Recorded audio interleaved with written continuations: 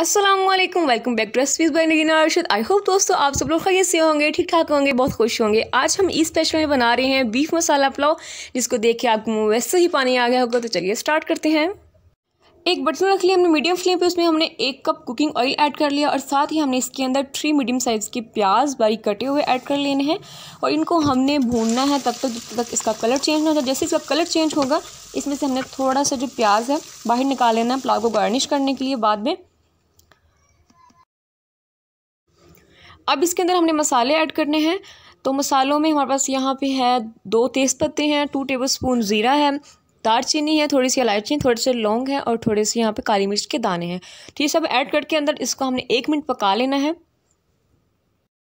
अब हमारी आती है बीफ ऐड करने की तो मैंने यहाँ पे 500 ग्राम बीफ लिया आप चाहें तो इसमें मटन भी ऐड कर सकते हैं। जैसे इसका कलर चेंज होगा तो इसके अंदर हमने सारे स्पाइसेस ऐड कर देने हैं।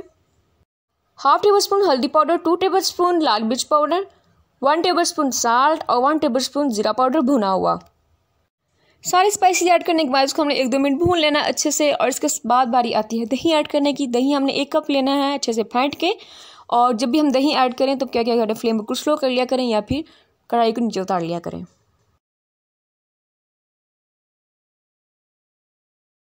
यहाँ पे फ्लेम मैंने बिल्कुल स्लो कर दिया था और इसके अंदर दही ऐड करेंगे, दही ऐड करने के बाद इसको हमने पाँच मिनट बराबर पकाना है ऐसे ही, ताकि जो दही का कच्चापन है वो भी ख़त्म हो जाए। और जो दोस्त, आज चैनल पे न्यू है, वो दिल्ली से चैनल को सब्सक्राइब कर दे राइट साइड पे रेड कलर के बटन पर क्लिक करें और बेल आइकन को दबाएँ। ऐसी मज़ेदार और न्यू रेसिपीज़ लेने के लिए चैनल को सब्सक्राइब करना बहुत ज़रूरी है। इससे मेरी हर आने वाली वीडियो का नोटिफिकेशन सबसे पहले आप तक पहुँच सके और सबसे पहले आप देख सकेंगे। ये बिल्कुल फ्री है। अब बारी आती है गोश्त को गलाने की तो ये बीफ है थोड़ा ज़्यादा टाइम लगता है गलने में।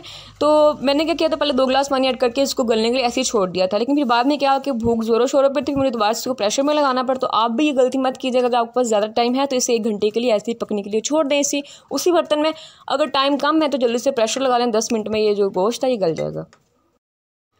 ढाई ग्लास चावलों के निकाल के साफ़ करके भिगो दिया है तो मैंने इनकी जो मेज़रमेंट है वो मैंने मग से की थी, जिस मग से मैंने गोश्त में अंदर पानी ऐड किया था। आप चाहें तो स्टील सिल्वर शीशे या गिलास जो भी आम घर में यूज़ करते हैं, उससे मेज़रमेंट कर लें। तो ये छोटा सा मैंने क्लिप रिकॉर्ड किया ताकि मैं आप लोगों को दिखा सकूँ कि मैंने जो बाद में प्रेशर भी लगाया था। गोश्त गल चुका है जी, अब इसके अंदर हमने हरी मिर्चें ऐड करनी है तो हरी मिर्चें सात से आठ ली हैं, उनको अंदर से कट लगा के ऐड कर दिया हमने, और साथ ही हमने इसके अंदर मीडियम साइज़ के तीन टमाटर बारीक काट के वो भी अंदर डाल दिए हैं। अब बारी आती है चावलों की चावल डाल देंगे इसके अंदर। बेसिकली होता ये है कि जितने चावल हों, उसका डबल हम पानी लगाते हैं मतलब कि ढाई गिलास अगर चावल हैं तो हमने पाँच गिलास पानी लगाना है। पानी ऑलरेडी गोश्त के अंदर था तो मैं अपने हिसाब से अब यहाँ पानी लगाऊँगी। आप जितने चावल ले रहे हैं, उसका डबल आप पानी लगा लें। अगर आपके साथ भी ऐसा ही हो कि पानी अंदर रह गया हो तो आपको अंदाज़ा नहीं हो रहा कि कितना पानी है। तो आप उसको पहले पानी निकाल लें मयर कर लें, दोबारा से फिर माप के अंदर डाल लें। इस पॉइंट पे आगे हम नमक चेक करेंगे। नमक कम हो तो और ऐड कर लेंगे। यहाँ पे कम था, मैंने one and half tablespoon और ऐड किया है। तो जो चावल जो है दम पे आ गए हैं। अब इसके अंदर हमने फ़ूड कलर जो है थोड़ा थोड़ा डाल देना। ऊपर पानी के अंदर मिक्स करके मैंने रख लिया था। पहले वो डाल देंगे और इसमें थोड़ा सा ऊपर गार्निश करने के लिए धनिया पत्ती और साथ में जो हमने पहले प्याज निकाले थे, वो डाल देंगे ऊपर और इसे हमने दम लगा देना पाँच मिनट के लिए हम इसे दम लगा देंगे, ऊपर कपड़ा रखेंगे और उसके ऊपर उसका ढक्कन ऊपर से इस तरीके से ऊपर से बंद कर देंगे। दस मिनट देंगे। बिल्कुल एवी लो सा फ्लेम तो ये चावल दम से उतर गए हैं हमारे। तो जो ना पुलाव हमारा रेडी हम इसे सर्विंग ट्रे के अंदर निकालेंगे। तो दोस्तों आई होप आप लोगों को आज की रेसिपी अच्छी लगी। अगर अच्छी लगी तो लाइक कर दें शेयर कर दें। दोस्तों के साथ फैमिली के साथ मिलते हैं ऐसी मज़ेदार और न्यू रेसिपी के साथ नेक्स्ट वीडियो में। तब तक अपना बहुत सारा ख्याल रखें, मुझे दुआ में याद रखें। अपनी मेज़बान नगीना शुरू को दें इजाज़त। अल्लाह हाफिज़।